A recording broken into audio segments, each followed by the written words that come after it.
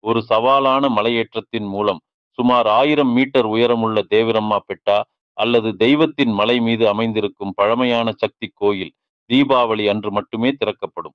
மேற்கு தொடர்ச்சி மலையில் உள்ள முல்லையனகிரி மற்றும் பாபா புடங்கிரியின் கண்கவர் சிகரங்களால் சூழப்பட்ட இந்த கோயில் கர்நாடகாவின் சிக்கமகளூரில் உள்ள ஒரு அற்புதமான தலமாகும். தேவிரம்மா சக்தியின் உக்கிரமான வடிவமான சாமுண்டேஸ்வரி துர்காவின் அவதாரம். புராணத்தின்படி பதினைந்து நாட்கள் நீடித்த போரில் மகிஷாசுரன் என்ற எருமை தலை அரக்கனை ஒழித்த பிறகு சாமுண்டேஸ்வரி தனது கடுமையான கோபத்தை கட்டுப்படுத்த இந்த மலையில் தன்னைத்தானே தனிமைப்படுத்திக் கொண்டார்.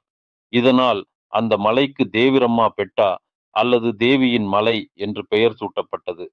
ஆண்டுக்கு ஒரு முறை நரக சதுர்தசிக்கு மறுநாள் தீப திருவிழா தொடங்கும் நாளில் மட்டுமே தேவியை தரிசனம் செய்ய முடியும்.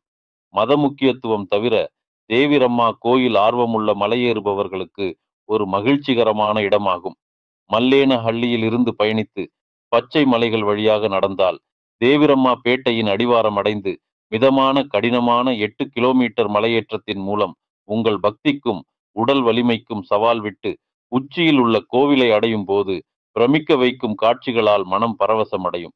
நரக சதுர்த்தி அன்று லட்சக்கணக்கான பக்தர்கள் தேவிகிரி மலைக்கு விரதம் இருந்து தேவிரம்மாவை தரிசனம் செய்வதற்காக மலையில் ஏறிச் செல்கின்றனர். எழுச்சியூட்டும் வகையில் ஏறிய பிறகு ஆசிர்வதிக்கப்பட்டதாக உணர்கிறார்கள். மலை உச்சியில் இருந்து பக்தர்களை தேவரம்மா கவனித்துக் கொள்வதாக நம்பப்படுகிறது. ஆன்மீக புரிதலில் ஹலோ சந்திரன்